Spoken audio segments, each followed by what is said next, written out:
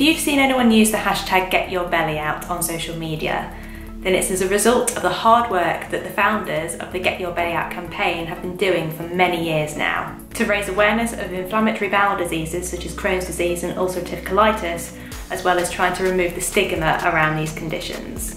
The Get Your Belly Out campaign has not just raised awareness of inflammatory bowel disease, but also raised those all important funds for the fantastic charity Crohn's and Colitis UK.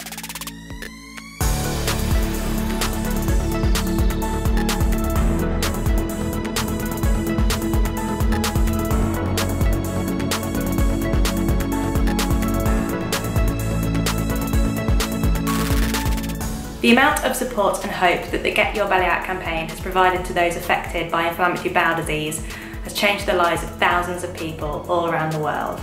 People share photos of their bellies, whether they have scars, whether they have ostomy bags, or in a lot of cases where there's no visible signs of this often very debilitating disease.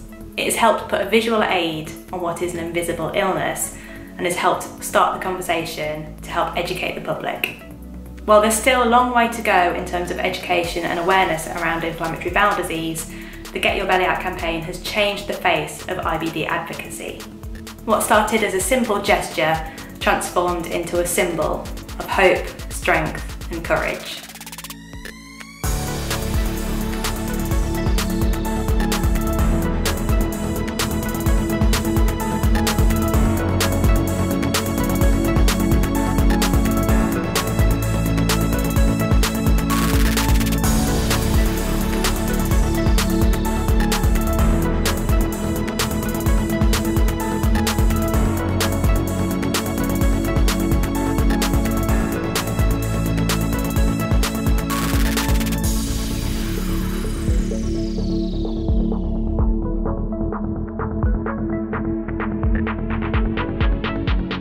So get inspired, get involved, and of course, get your belly out for IBD.